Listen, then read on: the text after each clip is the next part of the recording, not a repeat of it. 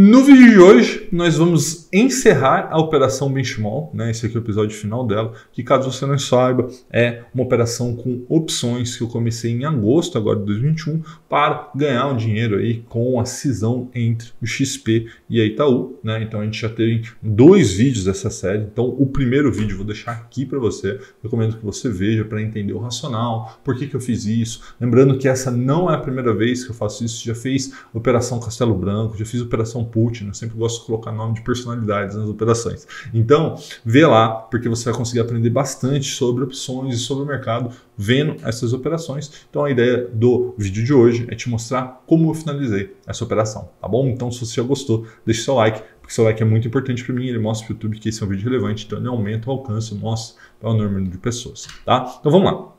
Essa operação começou em agosto, tá? precisamente dia 27 de agosto, quando o Bovespa estava acima dos 120 mil pontos e depois foi só ladeira abaixo. Essa semana recuperou um pouquinho e tal, tudo bem, mas lembrando que de 120 mil pontos para 107, 106, quando a gente está agora, é uma queda de mais de 10%. Tá? E obviamente isso impactou a operação e aí eu precisei fazer uma alteração da estratégia que foi inicialmente bolada lá em agosto, então em outubro eu fiz uma alteração da estratégia.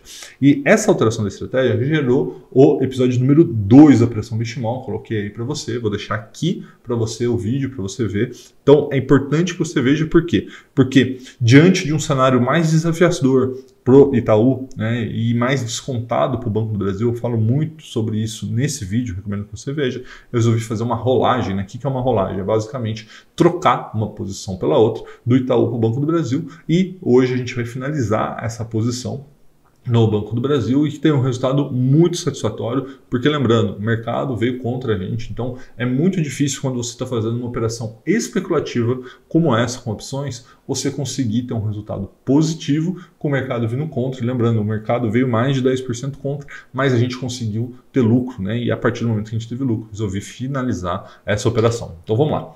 Só para você entender, fiz uma tabelinha, está aí na sua tela, com todas as movimentações que aconteceram nessa operação. Então, no dia 25 de agosto, eu vendi é, 3 mil opções de Tube V376 a 6,50 cada, recebi R$ 19.500.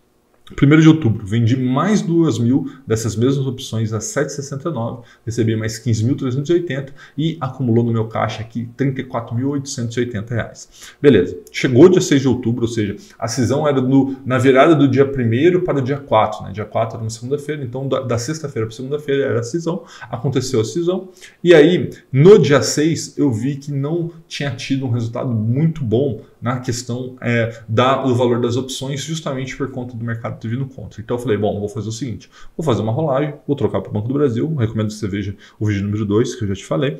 E aí, como que eu fiz essa troca? Basicamente, eu primeiro vendi 2.500 opções BBAS X45 do Banco do Brasil a 13,60, recebi mais 34 mil reais, então veja que o meu caixa ali nesse momento chegou a 68.880 e vendi, né, uma vez vendido essas ações, essas ações não, essas opções do Banco do Brasil, eu fui lá e comprei as 5 mil opções do Itaú Itube V376 que eu já tinha vendido. Né? Então veja que é uma operação ao contrário. Normalmente você compra para depois vender. Nessa operação de opções, né, que ela se chama naked put, né, quando você vende umas opções de venda é, a descoberto, então eu tenho que comprar de novo para fechar. Então a rolagem foi a troca né, da V pela BBASX. Então troquei uma pela outra. Para isso eu paguei 39.550 nas opções do Itaú. Então veja que eu fiquei com a posição do Banco do Brasil e 29.330 reais.